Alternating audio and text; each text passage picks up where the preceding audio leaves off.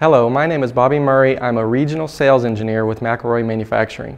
I'm here in McElroy's Technical Center to demonstrate the proper use of a number 2LC fusion machine. I will be using the 2LC to butt fuse 2-inch IPS DR11 high-density polyethylene pipe in accordance with the fusion parameters set forth in the ASTM F2620 standard. This is the generally accepted standard for heat fusion joining of polyethylene pipe and fittings in the United States. There are other fusion standards that may govern your process. Make sure you understand the fusion parameters required for your job site. The first step is to clean the ends of the pipe prior to loading the pipe into the fusion machine. Wipe off the inside and outside of the pipe ends with a lint-free cloth or a plain paper towel to remove excess dirt and debris that could contaminate the fuse joint.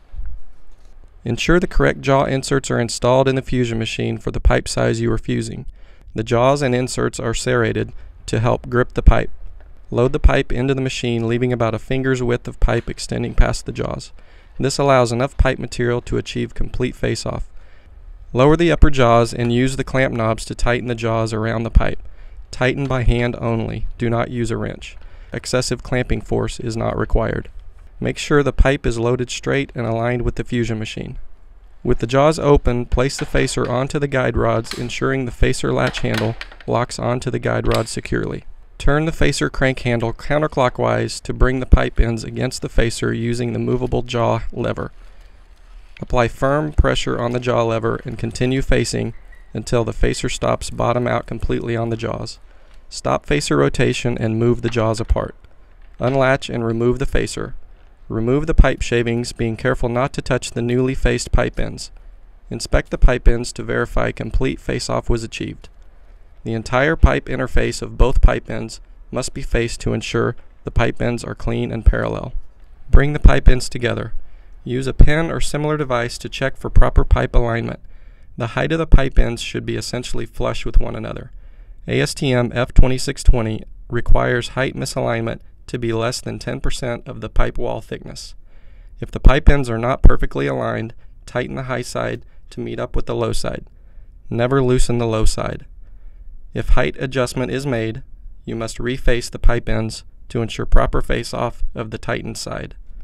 After height alignment is verified, firmly squeeze the pipe ends together to simulate fusion force to ensure that the pipe does not slip in the jaws. If either pipe slips under fusion force, reinstall the pipe with more clamping force and repeat the facing process again. Keep the pipe ends together in the fusion machine while preparing the heater to ensure they don't become contaminated. Clean the heater butt plates with a clean, dry, non-synthetic, lint-free cloth. A plain white paper towel works well. Dirty butt plates can cause contamination of the fusion area. The thermometer on the heater measures the internal heater temperature and should be used for reference only. Check the surface temperature of both heater butt plates with a contact or infrared pyrometer in a couple of areas where the pipe will come into contact. ASTM F2620 specifies a heater temperature range for butt fusion between 400 and 450 degrees Fahrenheit. Open the pipe ends and position the heater in between them, placing the heater's guide rod support brackets on the guide rods to support the heater. Close the pipe ends against the heater to achieve complete contact on both sides. Do not apply any more force than is required to keep the pipe ends held against the heater. Engage the locking cam on the carriage. This will hold the carriage position for the cooling cycle after the fusion is completed. Allow the pipe to heat without applying force to the jaw lever. This is called the heat soak cycle. ASTM F2620 includes a minimum melt bead size table for all pipe sizes. For this 2-inch IPS pipe, the standard calls for a minimum of 1 16th inch bead size. Heat soak is a crucial part of the fusion process and it is essential to achieve the minimum bead size. It is better to heat a bit too long rather than not long enough. When the heat soak cycle is completed, the heater is ready to be removed. The heater removal process should be done as quickly as possible. The maximum open close time is 8 seconds. Open the carriage and strip the heater off the pipe ends. Remove the heater, taking care not to bump the pipe ends. Quickly inspect the pipe ends to ensure they are flat and smooth with no unmelted areas. Close the carriage and make the fusion using continual even force on the jaw lever to achieve a complete double rollback bead. The 2LC fusion machine has a 5.8 to 1 mechanical advantage, so this will not require much force. Double check the locking cam to make sure it properly engages the knurled knob. If the pipe ends are the slightest bit concave, if there are any areas that did not melt, or if the pipe ends appear to be contaminated, abort the fusion process immediately. All of these conditions would result in a weak fusion joint. If the process is aborted, wait for the pipe ends to cool and completely restart the fusion process. Leave the fusion in the machine with the locking cam engaged and allow the fusion to cool. ASTM F2620 specifies a minimum cool time of 11 minutes per inch of pipe wall thickness. In other words, multiply the wall thickness in inches by 11 minutes. To calculate the wall thickness, take the pipe's outside diameter and divide it by the dimension ratio, or DR. Outside diameters of most pipe sizes are listed in the back of our catalog. Our pipe is 2 inch IPS DR11, which has an outside diameter of 2.37 inches. Divide 2.37 inches by 11, which gives us a wall thickness of 0.22 inches. To calculate the cool time, we will take the wall thickness of 0.22 inches and multiply it by 11 minutes.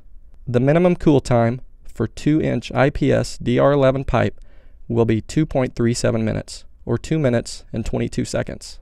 Once the cool cycle is completed, disengage the locking cam, loosen the clamp knobs, and open the jaws. The final step to any fusion is inspection. A thorough visual inspection of the fusion will catch many of the potential problems. Here is what to look for.